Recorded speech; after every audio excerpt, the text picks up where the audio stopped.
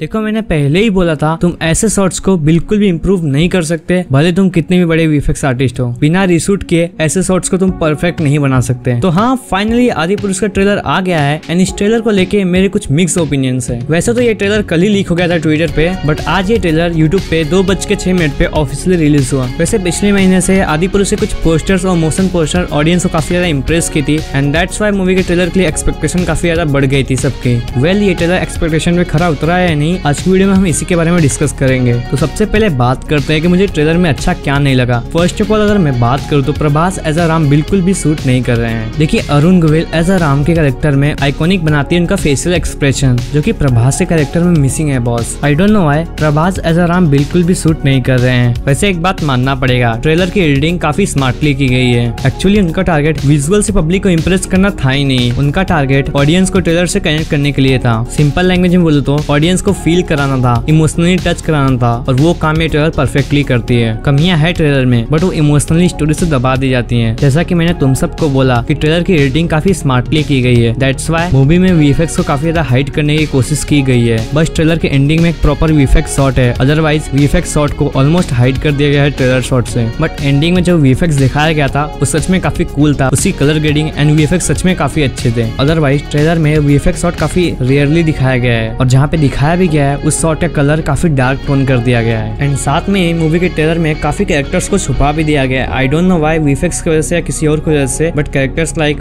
वानर सेना रावण और लंका भी नहीं दिखाई गई है एनी anyway, अगर वीफेक्स को साइड कर दे तो ट्रेलर सच में काफी अच्छा था इतना एक्सपेक्ट तो नहीं किए थे अगर हम कंपेयर करें पिछले टीजर से फॉर एग्जाम्पल तुम ये दो सीन्स देख सकते हो वैसे अगर मूवी के पॉजिटिव के बारे में बात करें तो फर्स्ट ऑफ ऑल मूवी का डायलॉग काफी अच्छा होने वाला है अफकोर्स मूवी का डायलॉग रामायण से लिया गया है तो नो डाउट मूवी का डायलॉग काफी बेटर होगा ओवरऑल अगर बात करो तो मूवी काम जरूर करेगी प्रभास का स्टार्टअप अनदर लेवल है आई थिंक मूवी पंद्रह करोड़ के ऊपर ज्यादा कलेक्शन तो कर ही लेगी जो भी कमियां हुई है मूवी के ट्रेलर्स में मूवी का कलर कलेक्शन उन सब चीजों को छुपा लेता है वेल ट्रेलर मुझे कैसा लगा ये मैटर नहीं करता मैटर ये करता है आपको कैसा लगा तो कमेंट में जरूर बताना जय श्री राम जरूर लिख के जाना कमेंट में